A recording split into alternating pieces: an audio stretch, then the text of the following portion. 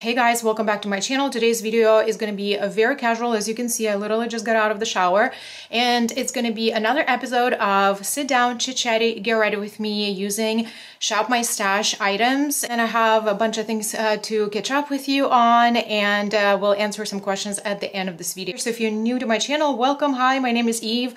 I love all things beauty. I talk all things beauty here on my channel, makeup, skincare, hair care, and at times lifestyle things like travel and fashion. If that sounds interesting to you, I hope you stick around, subscribe to my channel if you enjoy this uh, casual video, and I hope to see you in my future videos. So without further ado, uh, let's get started. I don't know if I'm going to be talking a lot about the products as I apply them to my face because I want to chat on different topics with you guys. However, everything that I'm using will be linked for you in the description box. I just applied my skincare on my face. That's why you see like I'm so glowy. And uh, I think I'm going to start with uh, this primer. It's a a Dermablend um, Instant Jelly Grip Primer. So I'm going to use it quite a bit of it. So I think that's like three pumps. And I kind of work very fast with this because it does have kind of like a watery jelly consistency at first, but the longer it sits on your face, it starts gripping and settling. So you don't want to wait too long. This is an excellent formula. I actually really like it. It um, does prolong my makeup wear and just make my foundation sit really nice on it. So whenever I use a gripping primer, I try to kind of apply it in all the crevices, like where my smile lines would be, like around my mouth, because I know that it's gonna help the complexion product grip to it. Also, whenever I use something that's gripping, I also put it all over my brows because I know it's gonna give me extra hold. Just a little tip for you. I know you guys see me in a very casual setting like this, but I don't think I've ever wore my actual turban, uh, my hair towel on my head. I actually wasn't really planning to film this video today. This video was definitely on my filming list because I do a monthly, so I didn't have time to film it during the week. And I said, like, if I don't film it like today, right now, regardless of this look, then I will not film it. There's a chance that I'm not going to film it and then there's not going to be enough time till the end of April for me to even edit. I'm also going to use my Clinique foundation. So it is an old-fashioned packaging like this, so just untwist. So I definitely wish they would put like a pump or something. So month of April actually had a lot of going on all of a sudden. Like tomorrow morning early, we're heading out to South Florida to our friend's baby shower and because they're about like four or five hours away from us it's gonna take us the entire weekend. So they basically invited us to stay with them for the entire weekend for that event.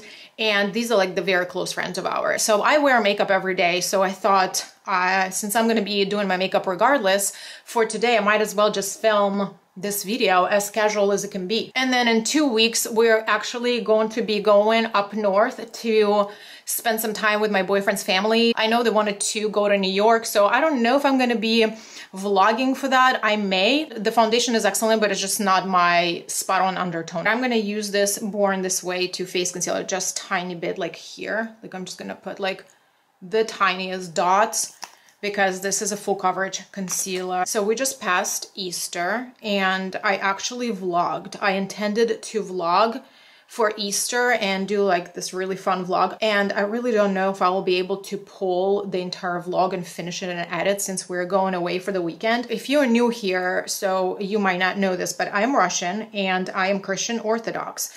And our Easter is usually a week, usually it is a week after um, Catholic Easter. So Easter and here in America was on the 9th and Orthodox Easter falls on the 16th. I like to celebrate Easter on Orthodox Easter. A few years ago, I actually happened to go to see my family and spend it uh, with my family. Easter is one of my favorite holidays. In America, my favorite holiday is Thanksgiving and then Christmas. But in Russia, my favorite holiday is Easter. If I would have to claim one holiday, uh, like to host in my own home, it would be Easter, but that would definitely be my holiday. I love this holiday so much. So I initially planned to do it on the 16th of April this time, but then we realized that we were going away for the entire weekend for a baby shower, which is on Saturday, and I realized that we're not going to be at home to celebrate Easter. So I actually changed my plans, did everything on the 9th. So I set up like a really nice brunch for us. So I really wanted to share like my home decor with you and like few dishes that I cooked and like my flower arrangement stuff like that. At this point, I really don't know if it's gonna see a daylight because I don't know if I'm gonna have time to uh, edit it. So if you did celebrate Easter with your family, with your loved ones, I hope you had a good one. I'm gonna bronze my face first. I'm gonna use the LYS uh, cream bronzer. As I promised in one of my recent videos, that I'm gonna share this scary story with you that included my dog. Of course, any story, you guys, that's scary in our household includes my dog. It was about a few weeks ago.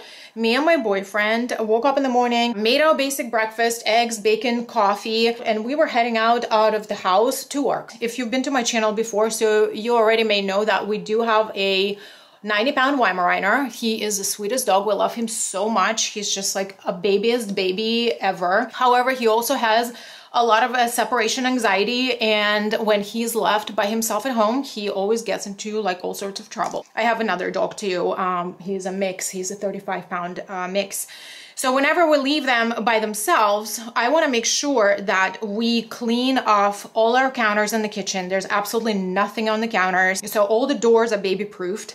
So we have basically like ties on every single door. Some doors we actually had to install locks. You know, we got that device on the toilet. So we, we have like the house baby proofed. So long story short, we left for work. It was early in the morning. And then when I came back from work, it was probably about like four o'clock in the afternoon that day. So I went to the kitchen to make myself food. And then all of a sudden I see that the stove is on. One of them, one of the burners is on. So I froze there for a second and started looking around if did somebody come in in the house? Like I was confused for a second. I was like, how did this even happen? So I had my phone in my hands. So I took a picture of the stove and sent it to my boyfriend like immediately. And I said, did you by any chance forget to turn off the stove? And he said, no, I also didn't come to the house, like since we left in the morning. And I was like, this is so weird because like, why is the stove on? So here I am standing there and thinking, how did the stove turn on by itself? When I look around, it turns out that we made bacon in the morning and I use this like small oven trays and the bacon was left on the flippin' stove. And I see that the tray was pushed back to the wall with the bacon. And then all of a sudden it hits me that our dog was trying to get to bacon. As simple as that. So then something else came to my mind. So I'm gonna use my Cheekleader palette for Hoola bronzer. And then it hit me again because I started thinking about it. I was like, how in the world the fire is on? So apparently, apparently, because there's no other way, it's just kind of like my track of thought. So the bacon was there on the stove and the dog was trying to get to it. So he probably got up on the stove and somehow pressed on the knob and turned it so the stove turned on. And it literally blows my mind because the knob needs to be pushed down from that little switch start working. And then you actually need to turn it while holding it down. So just on its own, that blows my mind. The dog was able to do it. I mean, of course, it's kind of like accidentally. He probably like jumped on the stove, like pushed on it a few times. I'm just trying to wrap my mind around it. What are the chances that the dog actually managed to do it? Okay, because you need to hold the knob down and then holding it down, you need to turn it for the fire to come up. And then the way our stove is set up is that whenever you turn the light on, the fire is on the max and then you have to turn it further out to make it smaller. So then I realized that the fire was on the medium height, okay? So, so he somehow turned it halfway so the fire was like medium. Another part to this was that whenever I bake the bacon in that aluminum tray, I also have this um, parchment paper that I line the tray with. Sometimes it's not really a perfect size, so I just kind of like rip it off of the roll and just put it there. And then I'm looking at the tray and I'm looking at the fire standing right next to each other. And I'm realizing that this paper uh, so this paper, this parchment paper is sticking out of the tray like a good amount, right? Like different angles. So I'm looking at the tray, I'm looking at this parchment paper and I'm looking at the fire and I'm realizing that if the fire was a little bit bigger, just like, I'm getting goosebumps in my body, right? I realized if the fire was just bigger, it would catch on the parchment paper because it would be a little bit wider and the parchment paper was just literally this far away from it. Oh my God, you guys, I can't deal. this would catch on fire, you guys. This would catch on fire like thousand percent okay? And as I'm speaking, I'm like, I'm literally like getting shivers on my body. This entire thing just kind of hit me all at once. This like idea, the image of everything catching on fire and like the fire could possibly catch everything around. Uh, so we had parchment paper, the tray full of bacon that's also this much grease in it imagine fire heating that grease. It just, oh my God. So I just pictured all that in my head for a second. Uh, so, and I texted my boyfriend and I was like, oh my God, oh my god it was like one lucky chance that was given to us. So this is a story. We definitely got really really scared from this and definitely learned from the mistake for sure. What do you guys think of Ulta doing the 22nd days of beauty? That was interesting. So that was definitely the first time that I've ever seen it. I've been shopping the event for a very long time. I'm using the Kosas Duo for my brows. There were a lot of items that were included. However it wasn't like the entire entire variety uh, from the entire event. So I think maybe something that didn't sell well that they wanted to maybe extend. Uh, that was kind of a, a fun surprise. I wanted to see if you guys noticed that at all, if you ended up actually shopping that day. Share your thoughts with me in the comments below. Now that I'm kind of done with my complexion, I'm gonna pick my blush and everything else and lips at the end of the video, but I wanna do the eye look first. And I thought I would use this eyeshadow palette. This is Allure 3 by Juvia's Place. This is one of my favorite color stories and this was uh, a palette in my spring palette wardrobe selection. That video is already out on my channel if you missed it. I love this palette so much and I'm very excited to do a look with it today. So I'm gonna actually use the entire palette and I'm gonna show you how to use all the shades together. I'm gonna start with the Rephr 15 brush. This is one of my favorite blending brushes. It's a little bit denser. Actually, Rephr is having their spring sale. I don't know if it's still going to be going on when this video is out, but this is one of my favorite brushes. I'm actually thinking to repurchase maybe one or two more.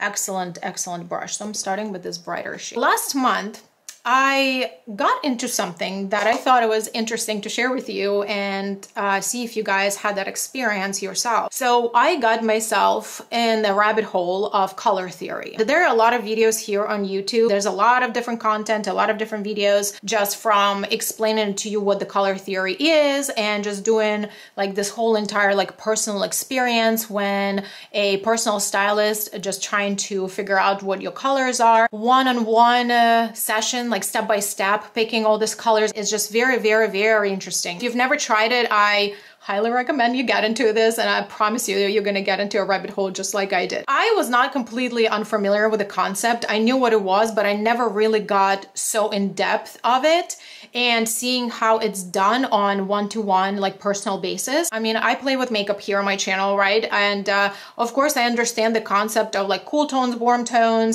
how colors go together and things like this. But this is kind of like taking it to completely another level. So you can get, of course, like a one-on-one -on -one personalized service to you and through like a YouTube channel, people that have like fashion accounts. However, if you want to get to play with colors. There is a really cool app that's called Dressika with a K and you can take a picture of your like bare face or not bare face whatever you want and it's gonna give you like all these colors to play with. You can play with uh, makeup colors you can play with clothes colors hair color whatever. So for the longest time i was a big time neutrals lover and i still am. I love my neutral shades However, I also started getting into colorful makeup, uh, like for example, the one I'm doing today. And I've been experimenting with a lot of color. Whenever I'm doing this makeup, I'm definitely going to be doing like a lot of like back and forth blending, making sure we have like a really nice soft transitions because I'm heading towards halo eye. For the longest time, I really thought that, okay, these colors don't look good on me,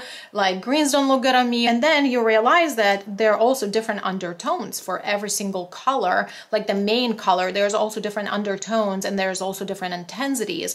So this is basically what it explains to you. Depending on your undertone of your skin, that you could be either winter, you can be summer, you can be spring or fall, and then it picks the right intensity and undertone of color. So you can technically wear any color you want, but just pick that right undertone and intensity for your skin type. I'm gonna go into this shade right here. I'm gonna use a Rephr 14 too. It's like beautiful small blending brush. So I really found that very, very interesting. I'm also gonna use this brush.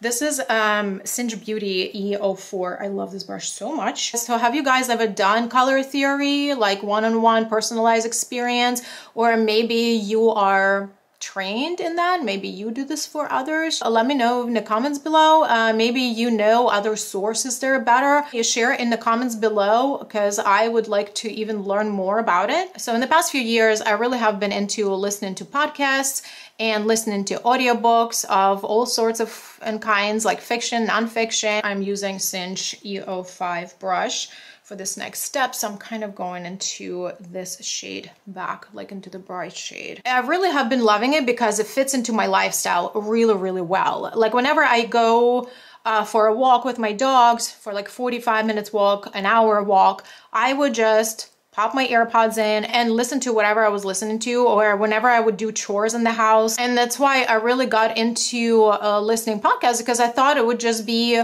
a little bit more mindful of a usage of my time. I generally like housework, but just knowing that you can also do like two things at the same time, it's pretty amazing. And your chore time kind of seems like passing so much faster when you actually listen to something that's interesting. So I'm gonna leave it at that for now, and I'm gonna go into this row. So I'm gonna start with this shade. This is a crease brush from Real Techniques. I really love this for my lower lash line. So that was working really well for me, like all this audio listening, and I still enjoy it. And all of a sudden, last month, I had this urge. I don't even have a better word to describe it. It was just this sudden urge that I needed to have a hard copy book in my hand. So I actually ended up going to the library and opening a library card. And you guys, I am like the happiest little elephant right now. Now that I built this up, I'm going into this shade right here and picking it up on a very small smudging brush. So now I'm officially a holder of a library card again, and I'm very, very happy about it.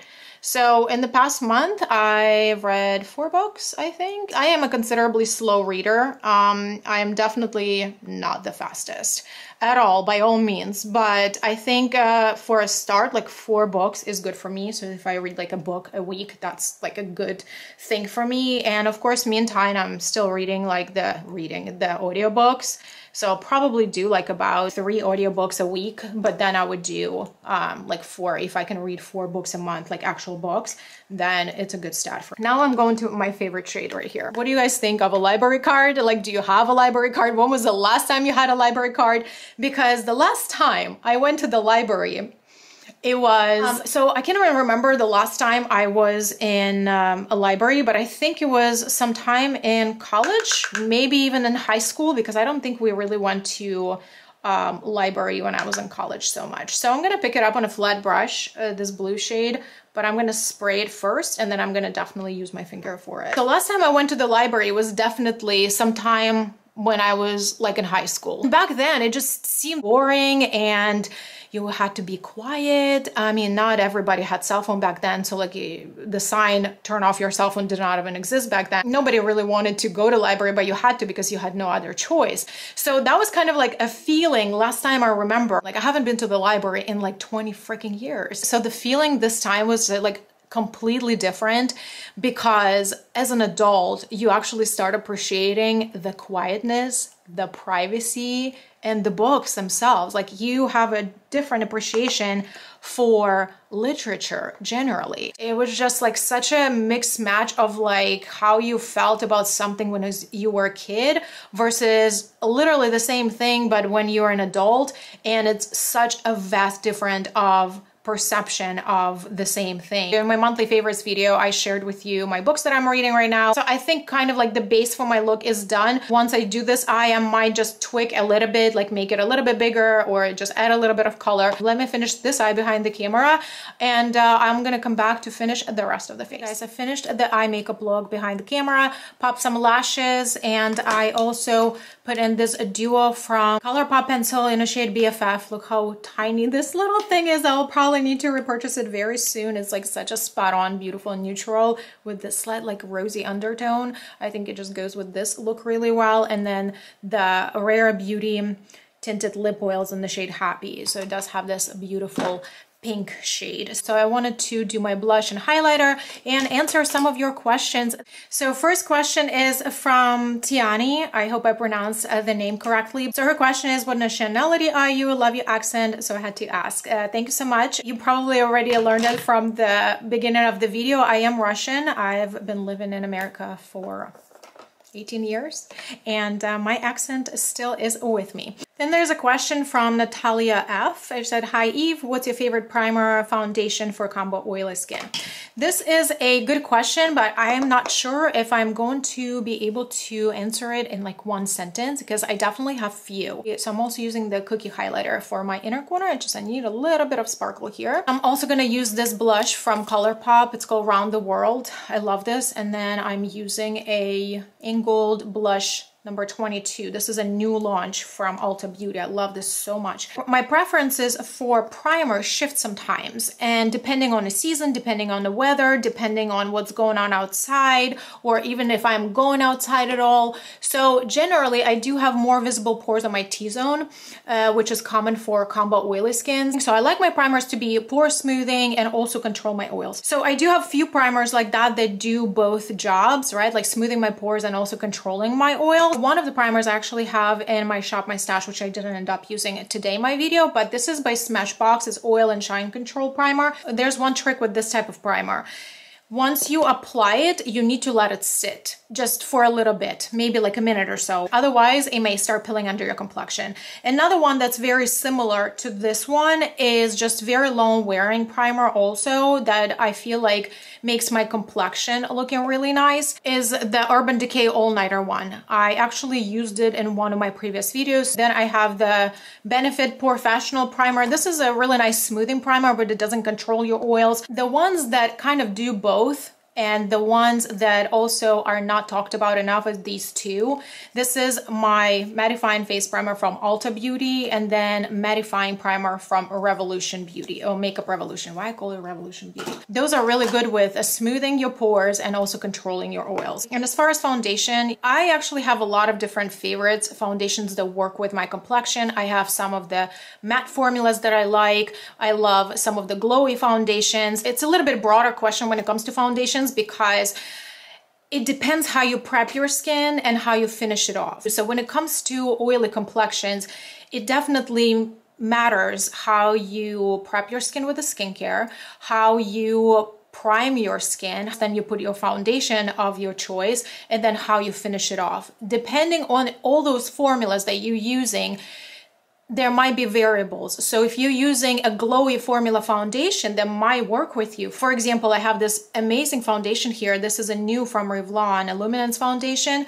This works great for me. This works, this foundation is just such a beautiful formula and it works wonderfully for my combo oily skin but I need to make sure that I use something that is a little bit more mattifying as a primer. And then of course I need to set it with a powder and then it lasts. And there is a chance I also need to retouch it throughout the day on maybe like three, four hour uh, time frame. So that's very common for me. These two foundations that I have here, this is a Lancome Teint Idole and then the Bare With Me Blur from NYX. Also I have this CoverGirl Outlast with the red cap. This is a very long wearing foundation. These two foundations, of course, are different from each other. However, they do have a mattifying effect to them. So you don't necessarily need to set them with powder because they are self-setting and they are mattifying formulas. So you don't want to end up with being like a dry complexion. However, you might want to use a primer that is a little bit maybe smoothing and not as dehydrating on your skin. So for my oily skin, I like to use primers,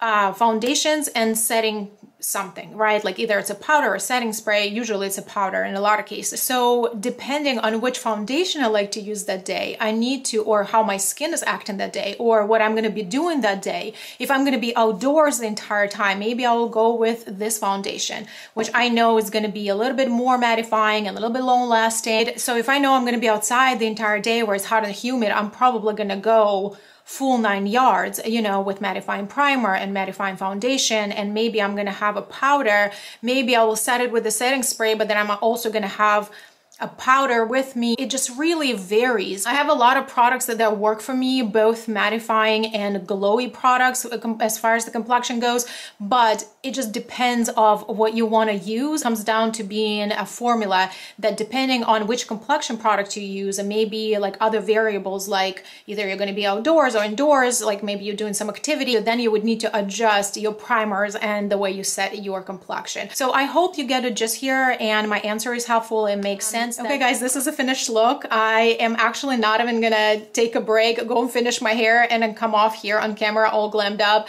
with my hair done to finish uh, on the outro, but this is just how it's gonna end. I hope you enjoyed this super casual video with me today. I am gonna be wearing this makeup look for the entire day, even though I'm not going anywhere. I'm just gonna be packing and cleaning the house the entire day. But this palette, you guys, is just such a beautiful color story for me. It's like one of my favorite palettes, literally in my entire collection, such a beautiful, unique color story. So today I actually did not use any sticky base for this blue shade, but it's definitely recommended because I do have some fallout underneath my eyes, but like I said, I'm not going anywhere, so I'm just gonna roll with it. I hope you enjoyed watching this video, hanging out with me today. If you have any questions about anything, comments, leave them in the comment section underneath this video. I would be more than happy to chat with you there and answer your questions. And if you have any other questions for the following sit down, to chat, get ready with me video using Shop My Stash items, just also leave them in the comments below. I will keep them for my next video. So thanks so much for watching and hanging out with me today. And uh, if you enjoyed this video, give this a big thumb up. And if you're not yet a subscriber, I invite you to do so before you leave. Thanks so much for watching again, and I will see you in my next videos. Bye.